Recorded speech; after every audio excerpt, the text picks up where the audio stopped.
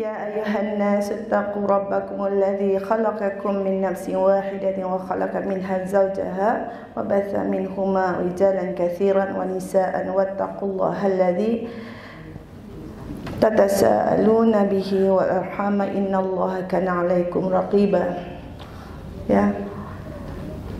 Um, sebenarnya saya mukadimahnya udah dibuka sama Ustazah Istifa ya. Masya Allah Tabarakallah. Allahumma inni as'aluka ilman nafi'an wa rizqan tayyiban wa amalan mutaqabbalan. Ya uh, puan-puan ya ini sebenarnya pertama kali ya uh, bukan pertama kali ya uh, udah kali mungkin kalau di sini pertama kali ya uh, saya uh, ya diundang oleh uh, fast, apa namanya khairat ya. Maaf ya saya sebenarnya baru balik dari Jogja. Saya baru balik dari uh, negeri Sabah bersama Syekhuna Abu Barak untuk daurah ruqyah ya. Terus uh, mampir ke Jogja atas urusan rasmi dan alhamdulillah ya saya amat ya berterima kasih kepada muslimat semuanya yang bersabar di sini ya. Dan punya ustazah masyaallah tabarakallah dengan mukadimah wa idza maridtu fahuwa yashfin. Apabila aku sakit Allah yang menyembuhkan. Jadi uh, tema kita hari ini adalah alhamdulillah aku sakit. Ya alhamdulillah aku sakit. Ya jadi saya orangnya um, agak simple ya. Jadi saya ini orang yang nggak terlalu general ya. Jadi saya sukanya komunikasi sama umahat itu uh, lebih dekat ya. Jadi nggak bareng-bareng saya ceramah sok sendiri di sini itu aneh loh kayak gitu ya. Ya, jadi yang penting itu apa yang ini saya sampaikan mudah-mudahan bisa difahami karena tajuk ini ketika dikasih sama saya Ustazah. Wah, ini bagus sekali ini ya. Ya, ya. Alhamdulillah aku sakit. Mayoritas ya ketika saya dalam um, dakwah rukyah karena saya emang bekas pesakit juga. Ya jujur ya. Kenapa terjadinya uh, masuk ke ranah rukyah karena pernah sakit maka alhamdulillah aku sakit. Karena ketika aku sakit ya, wa idza maridtu fahuwa yashfin. Ya. Karena kalau kita nggak ditimpa sakit, kita nggak akan tahu betapa besarnya nikmat Allah Azza wa Jalla kepada kita. Dan kita mungkin dari golongan orang yang amat susah untuk bersyukur. Karena syukur dan sabar itu amat dekat ya Ustazah. Ya kan? Berapa banyak orang yang bisa sabar tapi nggak bisa bersyukur. Bisa ya, kita bisa sabar. Sabar itu yang Ustazah bilang tadi wajib. Tapi bisa nggak kita bersyukur? Ini oksigennya ya. Ada dibayar nggak? Enggak. Ya, bisa berjalan enggak? Bisa, kayak gitu. Ini saya ingin berkongsi ya berkenaan alhamdulillah aku sakit kita karena saya mau ya, especially kita ibu-ibu ini pasti capek ya. Dan kerja kita tuh sering ngeluh ya. Aduh. Aduh. Walaupun udah diperingatkan eh, di majelis ilmu itu sabar. Pulang lagi, aduh aduhnya banyak ya bu ya. Ya memang nggak nggak ringan jadi seorang ibu. Kayak saya ya. Saya ibu anak lima. Insya Allah bulan Juli punya cucu. Saya bukan muda lagi ya. Jujur ya saya bukan muda lagi. Udah. Ya Ustazah Estiva ini Masya Allah tua sedikit dari saya. Saya on the way juga itu Ya, ya bukan muda. Umur saya 46 ya. Belum belum belum ya. Alhamdulillah nikah awal. Ya insyaallah. Tapi bukan muda lagi lah. Ya. Anak saya juga yang yang tua itu 26, 24, 21, 14, 10. Itu gimana itu ya?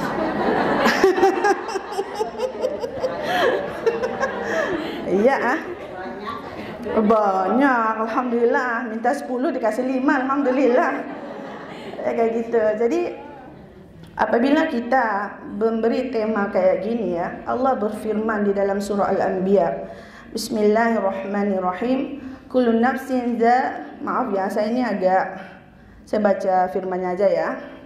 Tiap-tiap yang berjiwa akan merasakan mati. Pasti loh.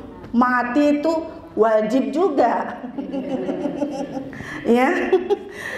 Jadi kami akan mengujimu, mengujimu dengan keburukan dan kebaikan sebagai cobaan yang sebenar-benarnya dan hanya kepada kamilah kamu dikembalikan. Ini konsepnya kita kembali kepada ubudiyah ya. Yang pasti ada yang udah belajar kan? Yaitu ubudiyah itu tidak ada Tuhan yang aku sembah melainkan Allah. Berapa banyak kita ngaku sama Tuhan sama Allah. Tidak ada Tuhan yang aku sembah melainkan Allah. Lo rewel lagi. Ngeluh lagi. Yang hancurnya stres loh. Stres banget. Ini stres, itu stres. Tapi alhamdulillah punya mata, punya hidung, punya mulut, punya telinga. Semua ada, tapi kok stres? Sedangkan konsep Islam itu adalah kembali kepada siapa? Pengabdian kepada Allah Azza wa Jalla. Ya, makanya ya ketika aku sakit, alhamdulillah, saya jujur ya. Saya pernah terkena sihir yang agak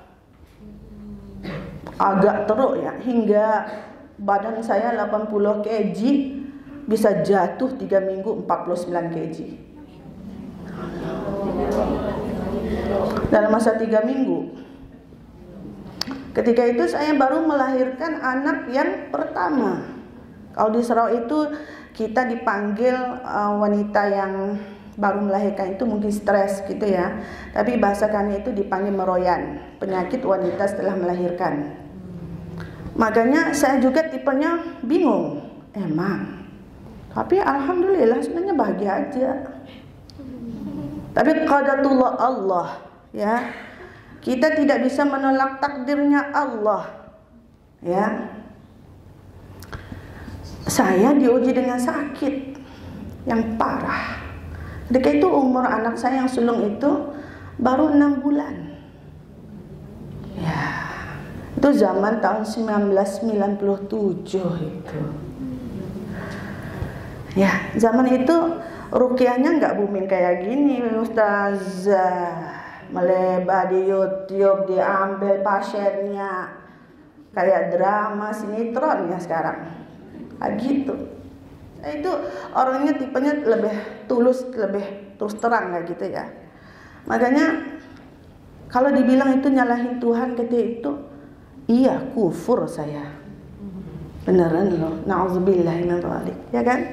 Kan masih muda Makanya saya punya pengalaman yang ngeri ketika itu. Yang mana kedua orang tua saya itu bukan orang yang tipenya agamawan ya. Makanya banyak kesalahan-kesalahan fatal dalam agama yang kita lakukan. Setelah berobat ke dokter, kita itu nggak barang-barang eh, percaya dukun. Kita orang kita karena saya tinggal di daerah bandar, emang kita nggak percaya kayak kayak gitu loh, dukun, nyantet, kayak itu nggak nggak mungkin loh terjadi kayak gitu. Jadinya ke dokter terus, ya. Ya, dipendekkan cerita, dokter lemas loh lihat muka saya. Tiap-tiap minggu ke dokter. emang sakitnya apa? ya, akhirnya dites semua lab laboratorium darah, jantung semua yang akhir sekali najis saya. Disuruh ya BAB dicek nggak ada penyakit. Tetapi penyakitnya luar biasa sakit. Ya. Gimana nggak bisa makan, nggak bisa mikir, nggak. Saya itu hampir enam bulan ya nggak kenal orang. Kejadian itu berlaku seusai saya sholat tahajud. Lihat, jika Allah ingin menguji kalian, jangan sok alim. Beneran loh. Itu saya masih ingat ya, kejadian itu berlaku setelah saya sholat tahajud. Saya sholat tahajud, mau sholat subuh, sunat. Tiba-tiba kayak ada angin yang datang. Saya masih ingat. Itu saya nggak akan memorinya nggak akan dilupuskan. Kenangan masa lalu. Kenangan yang indah, hadiah dari Allah. Ya, kayak angin masuk sup, pengsan. Langsung pengsan, besok nggak sadar diri. Lusa nggak bisa makan. Kemudian kelupaan, kurus terus. Rupanya itu sihir. Sihir. Karena saya nggak mau cerita terlalu panjang. Karena tajuk kita Alhamdulillah aku sakit, bukan Alhamdulillah aku sehat ya. Ya, jadinya ketika proses sakit itu pertama kali sebagai seorang hamba walaupun kita Asyhadu an la ilaha illallah wa asyhadu anna Muhammadar Rasulullah. Tetap kita lemah seperti ibunya Isa Maria. Lebih baik aku mati ya Rob daripada aku siksa begini. Itu kan tipenya manusiawi. Adakah itu salah? Enggak. Emang malaikat. Iya kan? Maka itu tidak merendahkan iman kita sebenarnya kan? Karena kita itu hamba yang amat lemah. Akhirnya ya turun naik ke dukun loh saya dulu. Karena udah di bionis nggak ada penyakit, ya kan? Emang saya tahu itu dukun nggak tahu. Kamu mudah banget ya. 97 nggak tahu itu dukun nggak apa ya masuk aja. Yang penting sehat. Yang penting sehat beneran. itu teraji utamanya insan yang nggak punya iman. Yang penting sehat. Kok mau syirkun yang janji aku sehat. Bukan alhamdulillah aku sakit. Ya, akhirnya ketemu sama Pak Kiai. Dia bukan perukiah ya, Ustazah ya. Dia seorang imam besar masjid. Ya. Saya datang itu alhamdulillah dalam tempo dua tahun. Saya berusaha mengobati diri saya nggak sembuh-sembuh. Satu malam, ya saya shortcut ya. Yang dukun itu nggak ya cerita lah tipenya gimana semua tahu ya. Ya. Saya putus asa. Saya benar-benar putus asa. Karena sakitnya luar biasa. Ya sakitnya itu kalau dipukul pakai rotan alhamdulillah saya terima ada bekasnya sakit itu penyiksaan fisikal dan mental tanpa hakikat yang bisa kita lihat itu kan sihir Ya, jadi saya masih ingat satu malam saya mau tidur karena kepala saya itu mau pecah rasanya, mengerang kesakitan guling-guling. Dan saya bilang sama Allah, kalau ini aja kadatullahnya umurku ya Rob, dengar ya, buat ini, aku reda jika aku mati. Reda ya Rob. Reda aku mati ya Rob. Ambil aja nyawaku ya udah. Kamu tahu apa yang jadi besoknya? Saya bisa sadar diri. Subhanallah, Masya Allah. Karena perkataan apa yang disebut Ustaz Istighfar tadi? Reda dengan ujiannya Allah. Allah cabut sakitnya. Celah pelan-pelan ya, nggak sekaligus ya.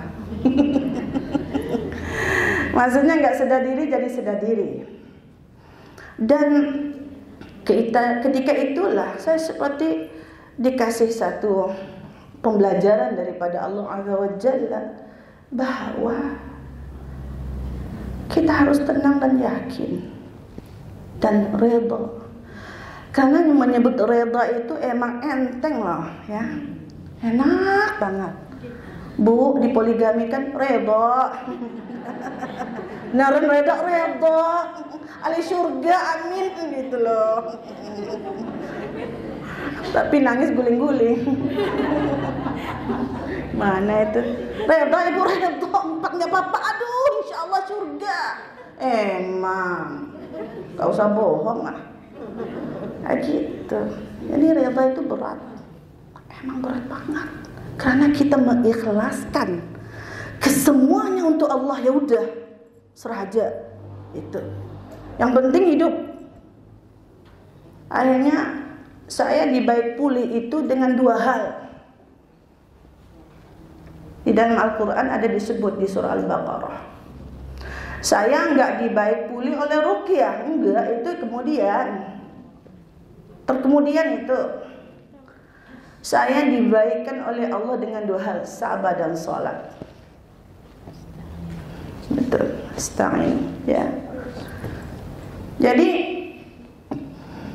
ketika saya sakit, saya akan sholat. Dan saya minta sama Allah Azza wa Jadi dua itu yang saya bawa sampai sekarang tipsnya kepada orang-orang sakit. Ketika kamu galau, ketika dipoligamikan apa aja, wudhu, dan sholat. Karena itu solusinya. Jangan ke orang dulu, ya ustazah, setannya di sini, rukiah, gimana itu? Ini ngemang loh nggak nggak mancing gitu ya. Ini setannya di sini kok, tolong ya scan gitu, emang. Lucu ya manusia itu. Karena manusia itu kalau mau sembuh dia nggak peduli Terutamanya orang yang nggak belajar tauhid, enak nggak usah saya. Dia nggak peduli. Yang penting hidup, ya kan? Yang penting sehat. Dosa pahala kemudian itu. Makanya apa tujuan hidup kita seperti Allah firmankan. Berabdi untuk Allah. Emang kita boleh garanti pulang nggak mati. Siapa bisa garanti ke tangan? Nggak ada yang garanti. Sini juga bisa mati. Kapan? Nggak tahu kan? Makanya syukurin nikmat yang ada. Dan sering-sering kita membaca namanya asma wa sifat, nama-nama Allah.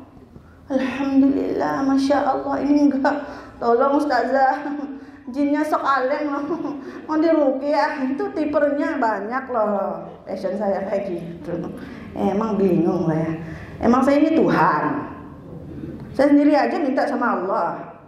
Karena memberi pelajaran kepada umat itu enggak enak. Orang nggak akan mau terima. Ya, yang mau terimanya akalnya, bukan agamanya. Mohon maaf ya. Nah, jika nggak berkenan sila angkat tangan. Nggak suka ustazah, nggak apa-apa, insya Allah.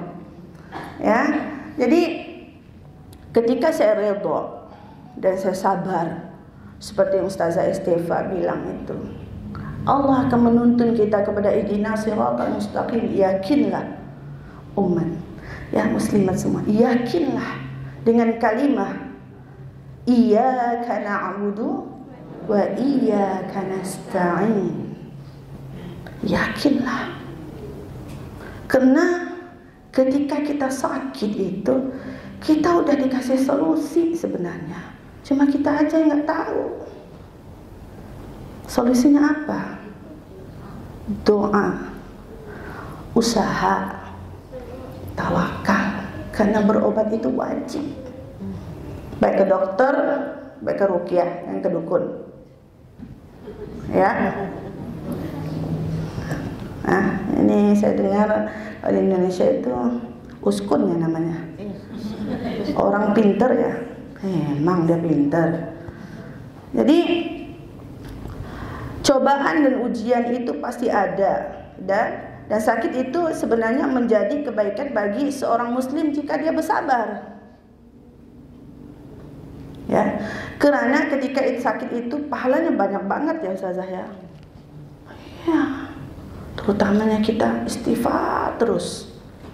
Allahumma anta rabbi la ilaha illa anta khalaqtani wa ana 'abduk. Nyambunglah. Na ala ahdika wa ma Ayo baca. Semuanya nggak ngantuk semuanya. Semangat.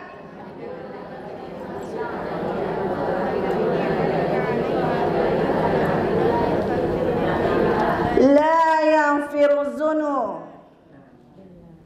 illa anta. Abduk hamba ya Rabb. Emang. Ya kan? Jadi Apa pun sakit kita, sakit jiwa, sakit mental, itu kan sakit juga. Iya. Yang parahnya stres sekarang ini. Sakit otak, sakit pikiran. Ya. Maka sakit akan menjadikan kita orang yang baik jika kita sabar dan tahu solusinya dengan apa? Dengan apa? Jemaah semua. Bisa jawab enggak? Ya, enggak apa, tembak aja lah. Dengan apa? Mohon dijawab. Bisa enggak? Yuk, kasih ide. Dengan apa? Hah? Dengan apa? Dengan Al-Quran dan As-Sunnah. Dengan Al-Quran dan As-Sunnah. Ya? Kenapa petang ini? Udah baca doa petangnya amsayna wa amsal mulku. Udah. Udah alhamdulillah. Paginya udah asbahna wa asbahal mulku. Kan itu sorotan perbentengan yang ampuh ya. La ilaha illallah wahdahu la syarikalah. Lahul mulk wa lahul hamdu. Memang solusinya manusia. Enggak kan? Jadi sakit juga akan menghapus dosa. Jadi beruntung orang-orang yang sakit jika dia redha dan jika dia sabar. Ya. Banyak yang ngejar saya seluruh Asia, beneran loh. Ke Kuala Lumpur disebut nama saya, "Oh, Dayang, Ibu Dayang gini. Tolong rukyah saya." Saya tipenya orang yang parah loh, tau nggak? Kalau jumpa saya itu dahsyat. Emang saya akan lihat dulu. Saya tanya, kamu tahu nggak kalau orang datang ke saya, Ustazah, saya mau dirukyah. Saya akan tanya balik, kenapa minta dirukyah? Kenapa minta dirukyah? Harus tanya, ya kan? Iya rasanya, rasanya saya punya ini gangguan. Itu udah di sama Pak Ustadz, ada jinnya. Di mana? Emang jinnya muncul. Assalamualaikum. Lo jawab Waalaikumsalam. Karena pendidikan apa pun yang berlaku atas kita itu adalah namanya apa? Agama. Ya kan? Jadi penyakit merupakan sebab pengampunan atas kesalahan yang pernah kita lakukan. Mungkin dayang dulu banyak dosanya, ya kan? Yang harus kita lakukan adalah apa? Muhasabah diri, bukan nyalahin Tuhan, bukan nyalahin orang, bukan nyalahin makanan. Bisa nyalahin makanan kalau nggak jaga. Ya, sebagaimana firman Allah ya, dan apa saja musibah yang menimpamu maka adalah disebabkan oleh perbuatan tanganmu sendiri. Dan Allah memaafkan sebahagian besar dari kesalahan-kesalahanmu.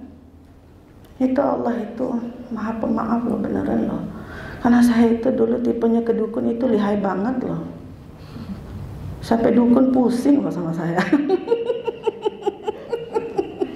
saya nanya ke dukunnya, emang baca fatihahnya diam-diam ya? ya, maka ya Rasulullah Sallallahu Alaihi Wasallam bersabda, Tidaklah menimpa seorang mukmin rasa sakit yang terus-menerus, kepayahan, penyakit dan juga kesedihan, bahkan sampai kesusahan yang menyusahkannya, melainkan akan dihapuskan dengan dosa-dosanya. Saya mau nanya, kalau pahala itu muncul kayak duit, kalian beli duit atau pahala? Dua-duanya ini pinter. Karena apa? Saya juga setuju. Rabbana atina fid dunya hasanah wa fil akhirati hasanah wa qina adzabannar. Emang bisa hidup dengan daun? Enggak, ya kan? Iya, jadi jangan jadikan duit itu utama. Biar di tangan aja, jangan di hati. Kalau di hati hancur. Di mall itu semua mau beli. Ya kan? Gak pernah puas. Manusia itu emang pernah puas. Enggak. Kayak saya dibeli ini mau ini lagi, beli ini main lagi. Emang, karena itu tipenya saya bilang sabar, insya Allah sabar, bersyukur. Nah, Sampai sekarang saya masih belajar ya untuk bersyukur kepada Allah Azza wa Jalla. Makanya alhamdulillah aku sakit. Ya ketika saya sakit itu saya kayaknya seperti uh, mencari Tuhan yang hilang beneran. Ya, itu istilah yang nggak bagus sebenarnya. Beneran. Cuma di sanalah ya kita akan evaluasi, kita akan muhasabah di mana salahnya aku ya Rabb. Dan di sanalah Allah memberi rahmat yang besar dengan kita sentiasa bermohon kepadanya. Coba kita sehat, nikmatnya ada. Emang kayak iblis semuanya ya. Sombong banget kita semuanya, benar nggak? Ya, maaf ya bahasa saya ini agak hancur ya. Karena kita punya mungkin uh, berbeda ya. Jika bunyinya terlalu kasar, saya mohon maaf. Benar-benaran ya. Karena kalau di Jogja itu jujur ya, kalau lama banget mereka ngomong saya bisa tidur.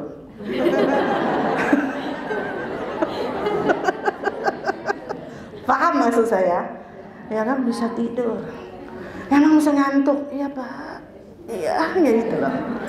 Dia semangat tapi tipernya tidur gitu. Nah, itu sebenarnya santun dan akhlak adabnya mereka itu masya Allah, tabarakallah. Dan sakit juga akan membawa keselamatan dari api neraka. Karena ya Rasulullah Sallallahu Alaihi Wasallam bersabda yang artinya janganlah kamu mencaci maki penyakit demam kerana sesungguhnya dengan penyakit itu Allah akan menghapuskan dosa-dosa anak Adam sebagaimana tungku api menghilangkan kotoran-kotoran besi. Ya. Oleh kerana itu tidak boleh ya seorang mukmin mencaci maki penyakit yang dideritai menggerutui ya. Emang kayak saya dulu lah zaman-zaman jahiliyah itu. ya. Apalagi sampai berburuk sangka pada Allah dengan musibah sakit yang dideritanya. Ya kan? Dan bergembiralah wahai saudaraku sesungguhnya Rasulullah sallallahu alaihi wasallam bersabda sakit demam itu menjauhkan setiap orang mukmin dari api neraka. Maka saya benar-benar ya bersyukur kepada Allah Azza wa Jalla kerana dikasih ujian namanya sakit. Alhamdulillah ala kulli hal.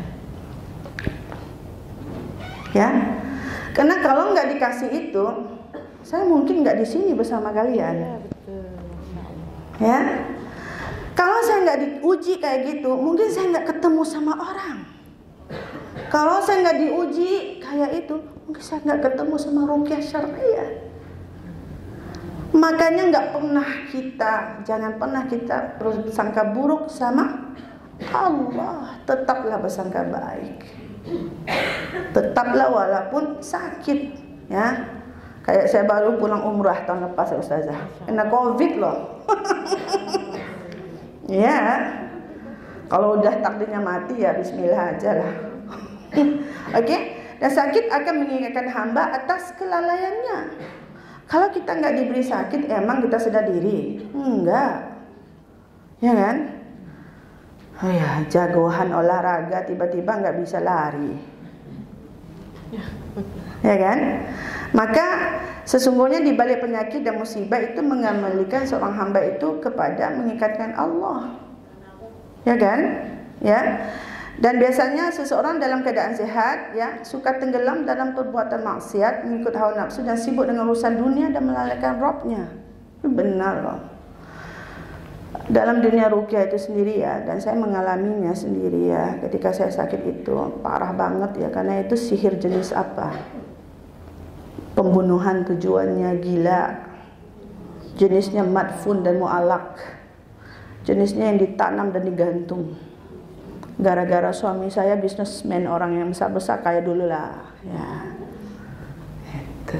Karena punya hasad dan yang anehnya, jujur ya, saya ini terbuka banget loh. Yang ngasih itu orang dekat sendiri yang bisa masuk rumah kita, kasih makan.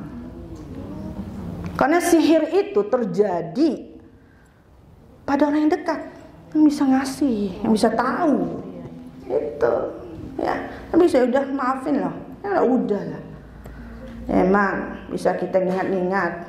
Karena ketika sakit itu, ketika kita marah, marah pada diri, marah pada Allah, marah pada semuanya, di situ setan memainkan peranannya.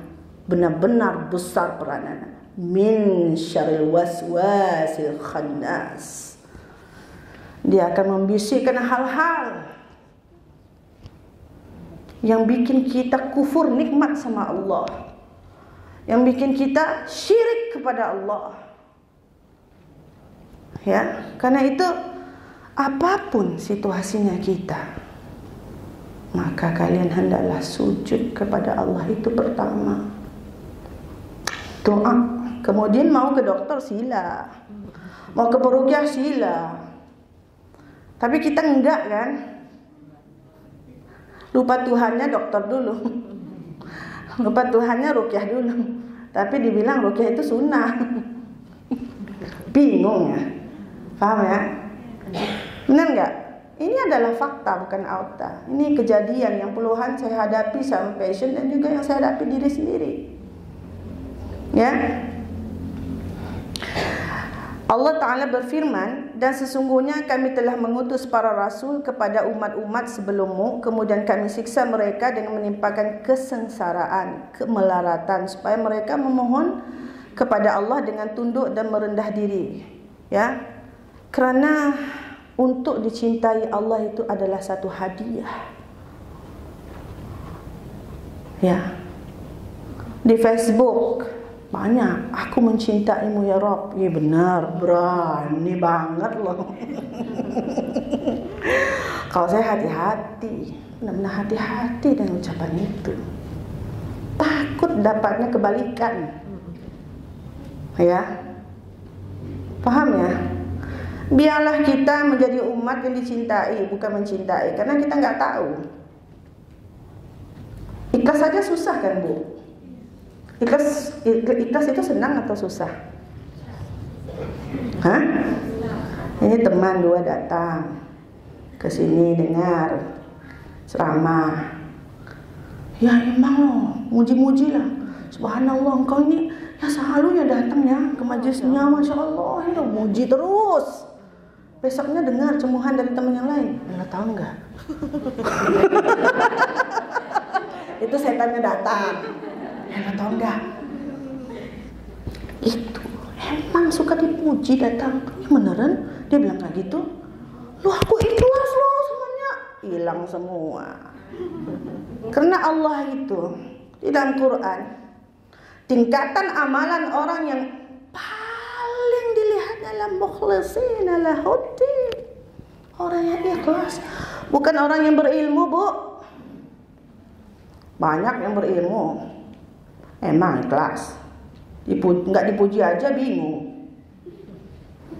Ya. Nggak dipuji aja bingung. Emang orang sini nggak muji aku ya. Jadi di dalam sakit juga mempunyai ranah ikhlas. Saya jujur ya, sampai sekarang itu saya masih belajar tentangnya ikhlas. Belajar, bukan menjadi orang ikhlas, nggak berani saya.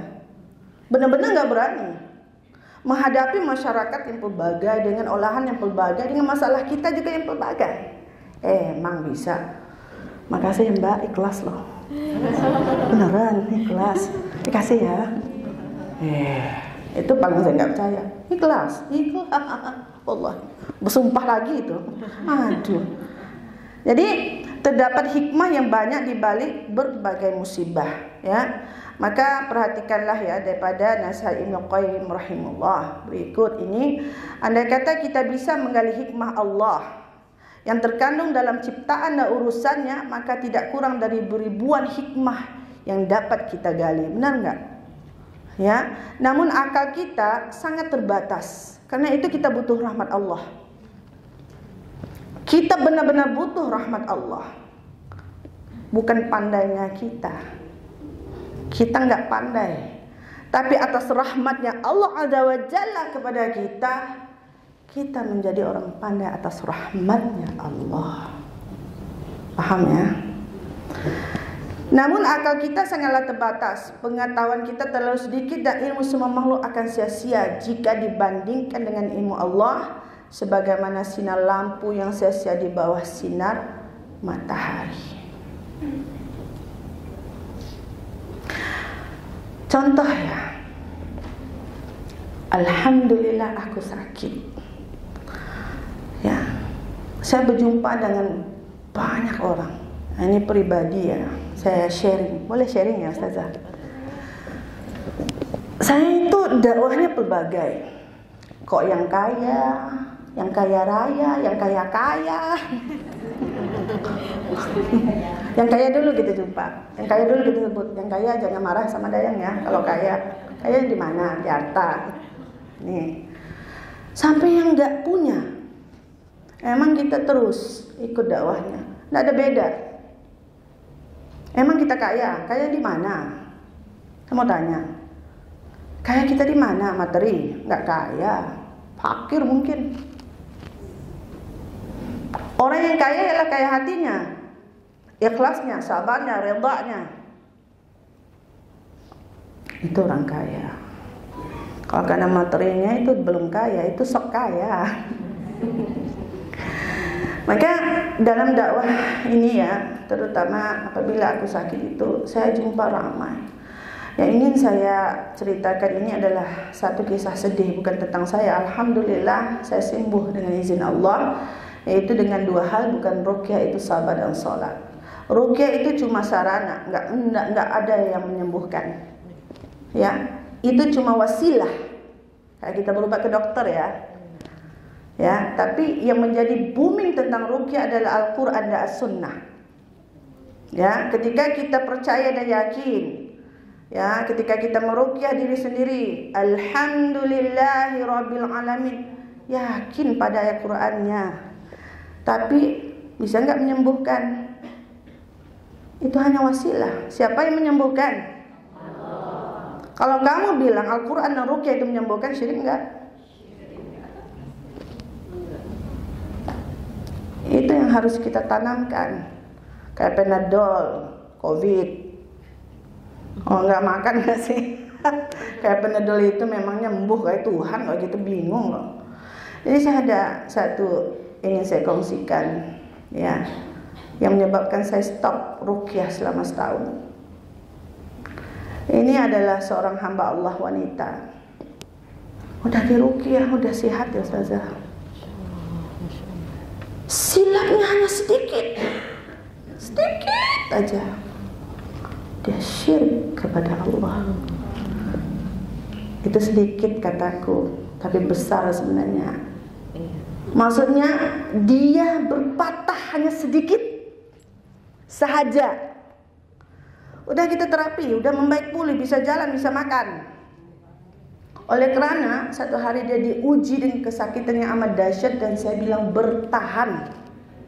Dan terus zikrullah itu dahsyatnya teman-teman dan orang sekeliling jika kita tidak benar-benar berserah diri kepada Allah. Kita pasti terpengaruh. Maka keluarganya bilang, gak apa-apa. Ustazah itu kan jauh. Saya juga bilang dia, saya ini bukan Tuhan. Zikrullah. Dibawa ke orang pinter. Sedikit aja. Orang pinter itu nggak nggak banyak acaranya, Ustazah. Ya, nggak ada syiriknya sembelih ayam nggak. Tapi syirikun juga tata caranya. Akhirnya jatuh sakit, melarat, terus meninggal. Lihat Allah tetap uji. Malah saat kematian itu Allah uji ya kan Ustazah? Sakaratul maut, sakarat. Saya itu ketika belajar kitabnya Wala Al-Bara nggak bisa tidur. Beneran loh. Loyalitas anti loyalitas nggak bisa tidur. Buka kitab besok nggak bisa tidur. Bingung loh. Sampai pikir, eh, emang mati ya malam-malam kayak gini. Jadi karena itu aja Allah matikan dia. Kita nggak tahu dia husnul atau suul ya. Tapi dari gambaran itu, kenapa syirkun? itu benar-benar menjiwai jiwa saya karena ketika dia meninggal itu saya datang saya cium dia saya tetap doakan semoga mendapat husnul khatimah karena itu saya bilang ya apa pun jadi kepada kita pertama walaupun kita bermaksiat sama Allah tetaplah kita jangan berputus asa minta keampunan Jangan terus berputus asa. Kok saya udah bikin dosa besar? Gak apa-apa lah. Lanjut. Lanjut. Tetap istighfar. Karena sebagai seorang hamba itu kita nggak akan bisa lari daripada hal-hal tersebut. Karena itu ya, Alhamdulillah. Apa? Tidur ya bu? Aku sakit. Oke, okay. di sini ya, bila Ustazah Estefa uh, bilang tadi ya, uh, bisa saya bicara tentang rukyah ada yang minat? Ya, ketika berkenaan dengan tim benabawi ya, ingin saya nasihati juga di uh, kepada semua ya bahwa di dalam pengobatan Islam itu sendiri ke dokter itu juga namanya pengobatan Islam selagi nggak haram. Ya selagi nggak haram silakan. Jangan pernah kita meninggalkan medis ya. Medis dan medis selagi yang nggak haram silakan. Jadi apabila kita sakit itu pertama tipsnya apa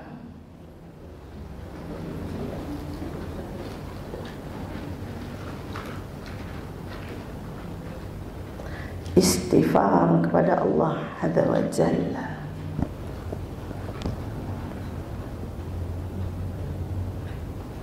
Kedua, sebelum berobat ya, sebelum ya, wudhu dan sholatlah kalian kepada Allah. Terutamanya tahajud itu ma'bul, masya Allah.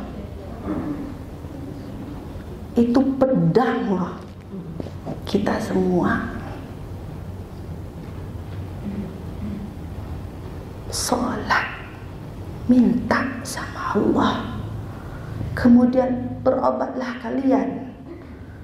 Dan yang paling utama jangan pernah mensyirikan Allah. Baik dari segi apa?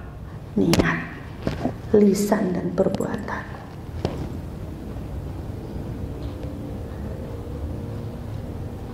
Karena firman Allah di dalam surah Al-Isra 82 apa? Wa nunazil minal Qur'an ma huwa shifaa'un wa rahmatul lil mu'minin. Wa la yazidu zalimin illa khasara. Akan aku kasih syifa tapi dia ada syarat. Mukmin syarat Allah akan aku kasih syifa kesembuhan kepada hambaku. Hanya kepada hambaku yang mukmin bukan muslim. Beda ya. Mukmin artinya orang yang mengikut Al-Quran dan Sunnah yang tidak menyelisihi syariat Allah Azza wa Jalla dan kemudian diikuti dengan tips-tips yang dengan dikhabarkan Allah di dalam Al-Quran Difirmankan di dalam surah Al-Baqarah. Begitu juga seperti doanya Nabi Ayub. Ayub isnada rabbahu alimadilhu anta arhamu. Nabi loh. Kemudian yang dibaca Ustaz Istighfar, doanya Nabi Ibrahim. Wa.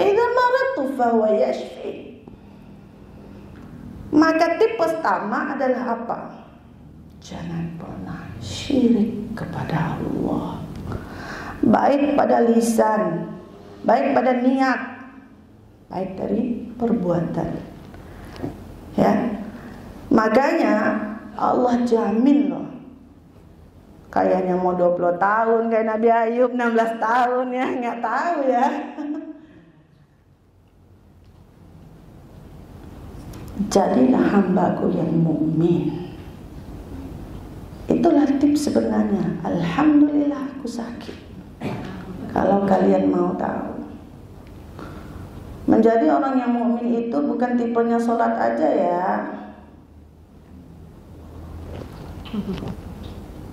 Karena sholat itu syariat ya. Seorang Islam wajib sholat.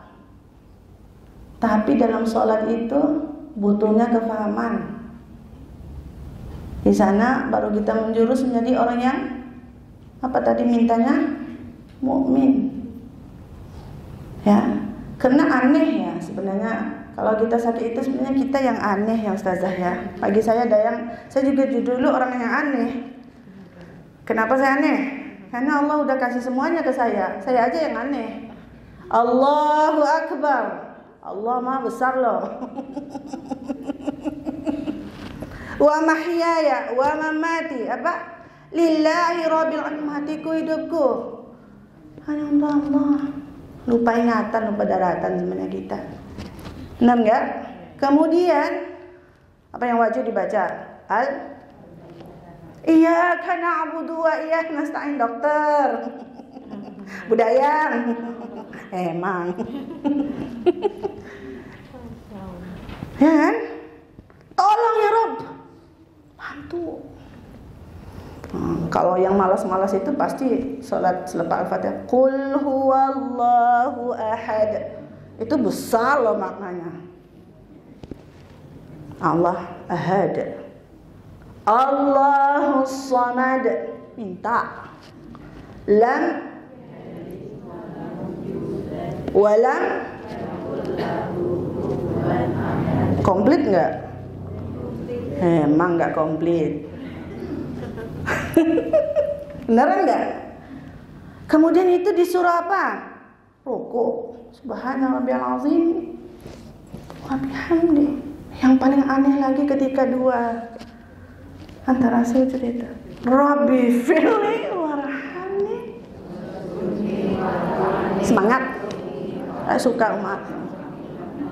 Sihatkan aku rezekiku. Bingung. Karena itu ya, ketika sakit itu sebenarnya obat yang paling ampuh adalah sholat. Sholat, wallahi. Terutamanya tahajud. Kalau kita diperangi oleh orang-orang yang zalim, kuno nazilah loh. Diminta sama Allah. Ha? Allahumma hdini fi man hadait wa afini fi man afait. Ya. Karena itulah tips-tips dalam Islam sebenarnya. Karena dalam Islam itu tidak ada namanya stres. Saya mau tanya, siapa bisa beli tenang? Saya kasih duit. Saya bisa beli tenang, saya kasih uangnya. Siapa yang bisa beli? Ada yang bisa beli tenang? Enggak ada. Tenang itu datangnya dari dan itu paling mahal. Paling mahal dalam kita ditimpa penyakit adalah tenang. Udah sabar. Udah pasrah ya kan? Udah redha. Pasti diberi ke karena itulah yang kebanyakan orang yang nggak dapat hadiah itu ialah ketenangan. Karena itu kalau kita ya, saya melihat banyak orang-orang yang sakit.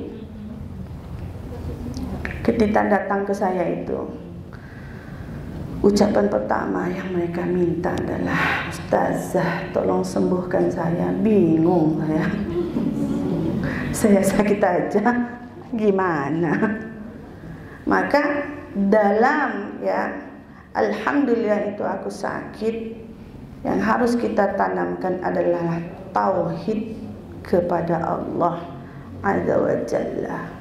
Keyakinan berbentuk dengan ibadah kita kepada Allah bahwa sakit atau tidak sakit pasti mati.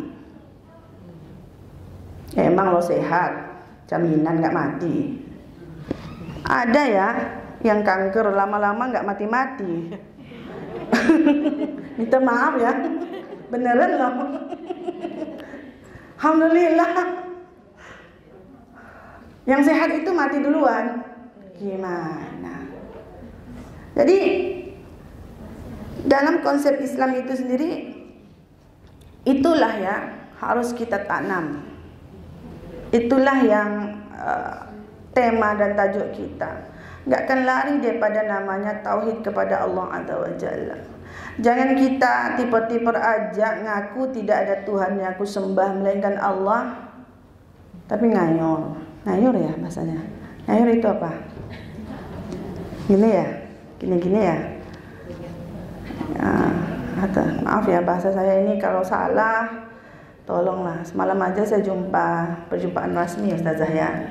Bahasa kita itu kenapa otak kamu nggak bisa pikir? Rupanya kasar banget.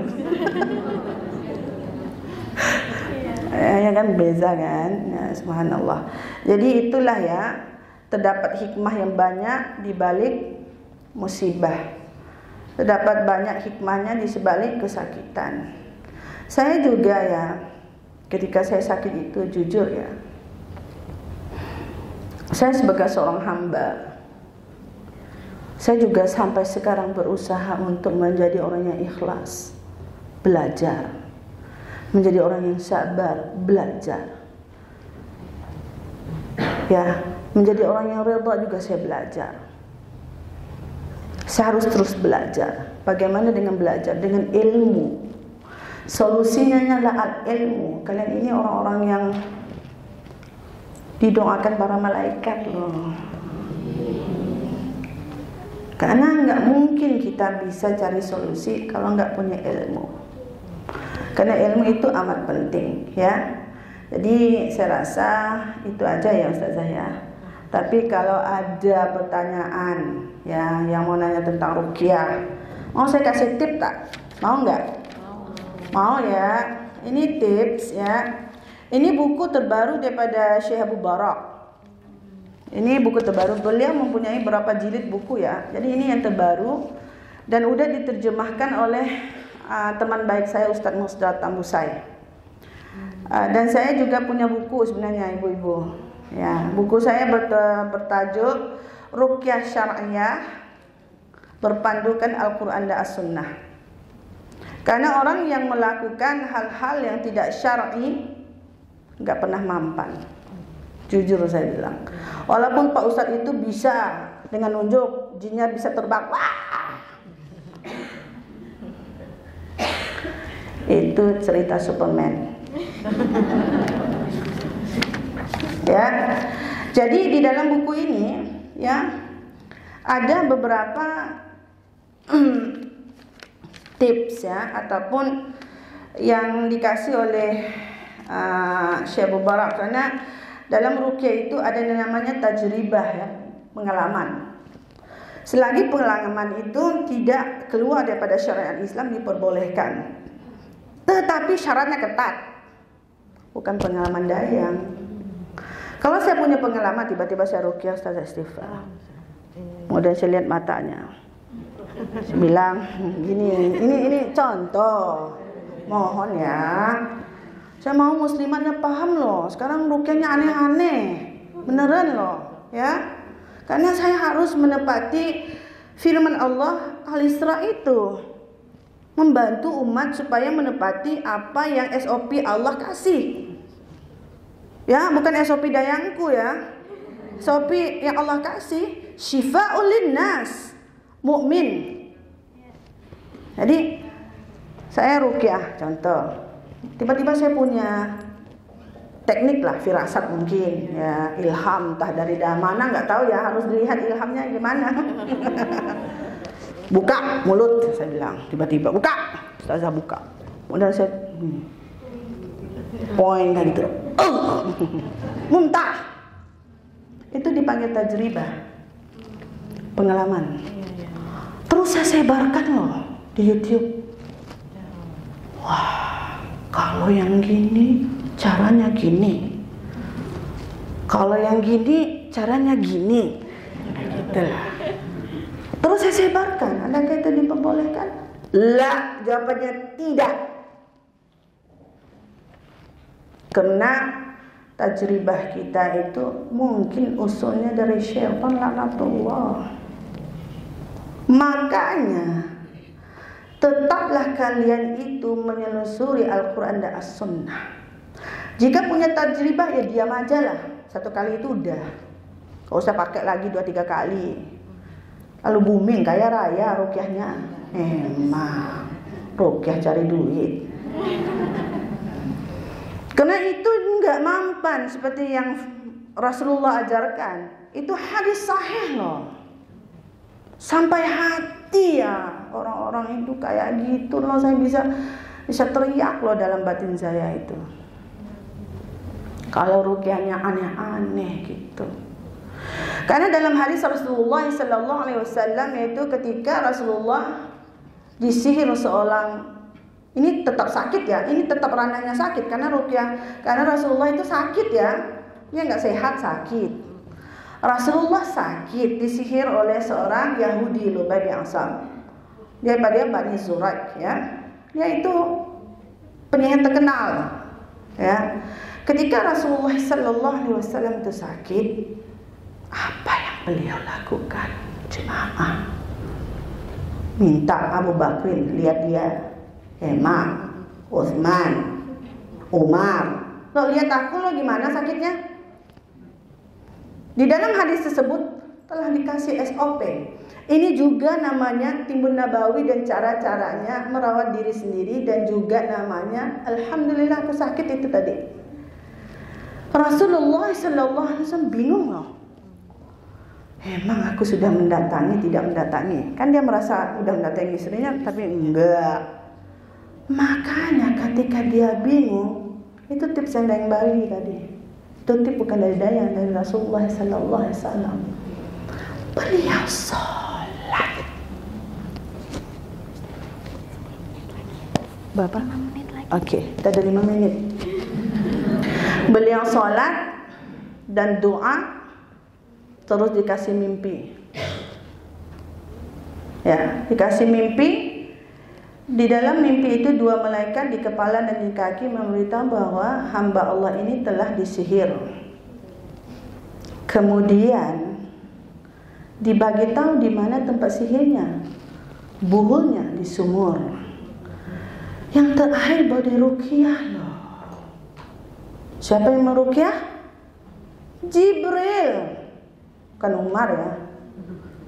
Makanya kalau ada yang aneh-aneh tipsnya itu menyalahi Al-Quran dan gak mungkin dia dapat syifaun linnas. Ketika rukyah itu membaca apa tadi? Bismillahirrahmanirrahim. Wallahu yashfik min kulli da'i yu'dhik min kulli 'ainin hasin hasin. Allahu yashfi Bismillahirrahmanirrahim Maka ya Karena Masa itu memang kerjanya cemburu Jadi di short Maka itu Kita apabila sakit Ya Hendaklah kita kembali kepada dua hal Pertama apa? Ya gimana ini?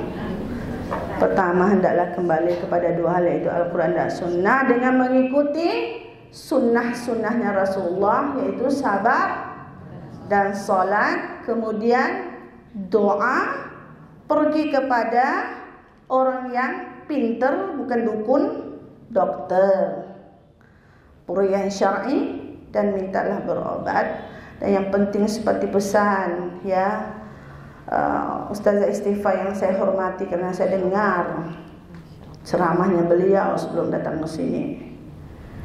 Ya, dah saya harus belajar sama beliau ini. Beneran loh, ya. Maka kesimpulannya adalah sama.